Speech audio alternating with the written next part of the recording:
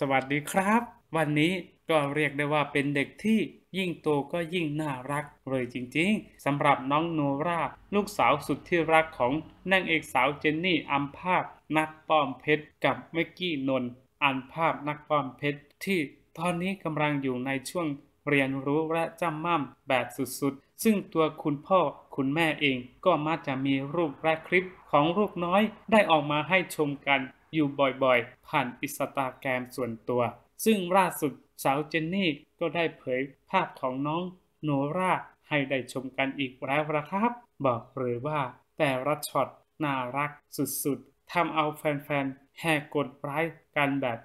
รัวๆพร้อมบอกเป็นเสียงเดียวกันว่าเห็นแล้วใจละลายและน่ารักสุดๆ ไปเลยละครับ